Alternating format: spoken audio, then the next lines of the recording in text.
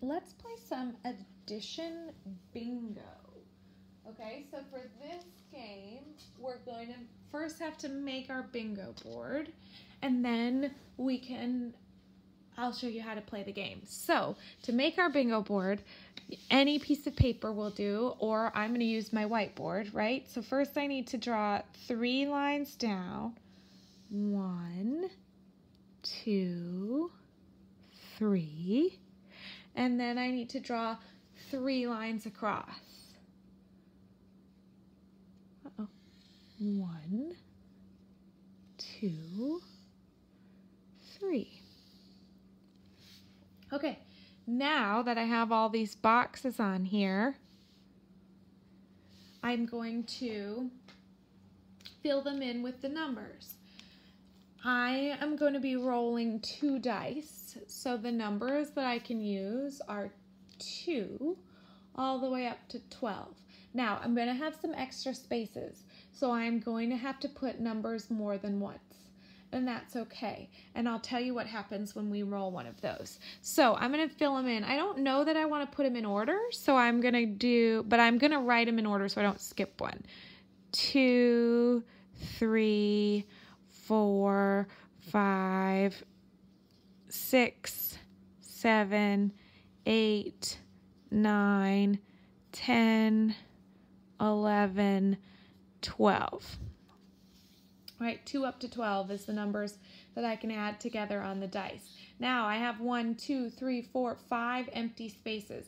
So I get to pick five numbers that I'd like to put a second time. So I think I'm going to put another 6 down here and maybe uh, 10 over here, uh, 8 up here, 9, 5. Now, when I roll those numbers, I only get to cover one, but if I then roll it again, I get to cover it a second time. And then I'm gonna need something to cover up my spaces, so I'm gonna use my chips. But you can cover your spaces with whatever you want at home. Toys, cars, gummy bears, whatever you'd like. Okay, so next I'm gonna roll my dice, right? I'm gonna roll two dice or I can roll the same dice twice. Oh, okay, so I got, let's see if I can bring them over here. I got a six and a six. So if I add those together, six, 7, 8, 9, 10, 11, 12. I got a 12, so I get to cover my 12 space on my bingo board. Okay, does that make sense? Now I get to roll again. Ooh, a 2 and one more. 3, right? So I get to cover my 3. Oh, look at me, I'm already making a line. Now, you can play until the board is full, or you can play until you make a bingo. If you're playing alone, you can play ha, play however you want. If you're playing with a partner, you can um, play until somebody wins.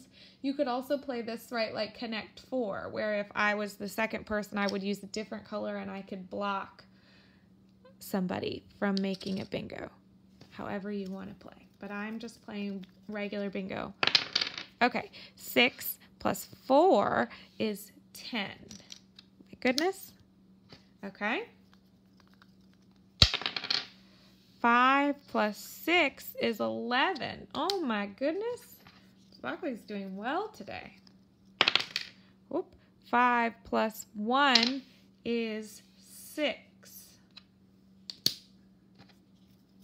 Okay. 2 plus 2 is 4.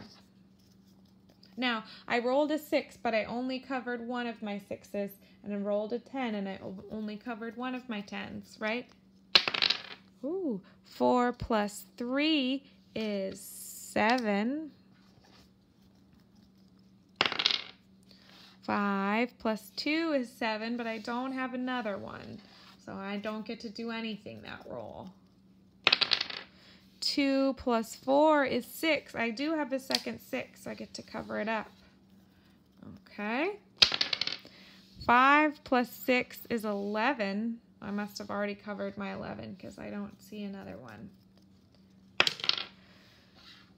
5 plus 3 is 8. If I put it there, I've got a bingo, right? I've covered up my whole row. Awesome. Now, I can play this with subtraction too if I want to. I just have to use different numbers. The highest number I can get on the two dice when I roll, when I subtract, is a 5, and the lowest number I can get is a 0. So the good thing about using a whiteboard marker is that I can erase and do them again, but you can always just clear, clear your pieces off and play a second time, right? So if I'm doing subtraction, my numbers are going to repeat a lot because I can only use 5, 0 through 5.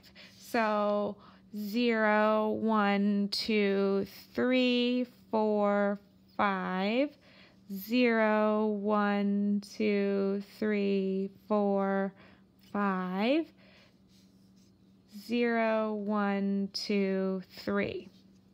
Okay.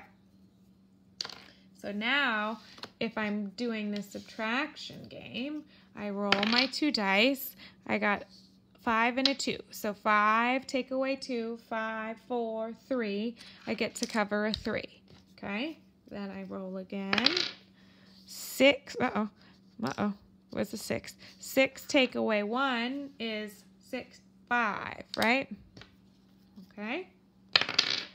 Two take away two is zero. Six take away three, six, five, four, three is three. 4 take away 3. 4, 3, 2, 1. 6 take away 2. 6, 5, 4.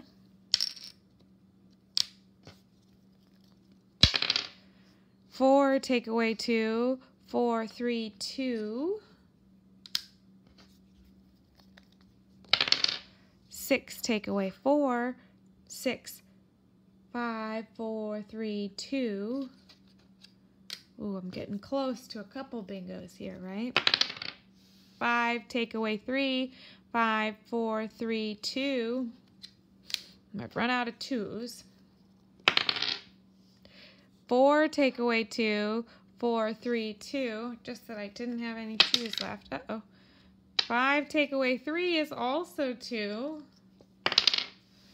Three take away one is two. Oh my goodness, I should have filled my whole board up with twos. Six take away five. Six, five, four, three, two, one. Bingo.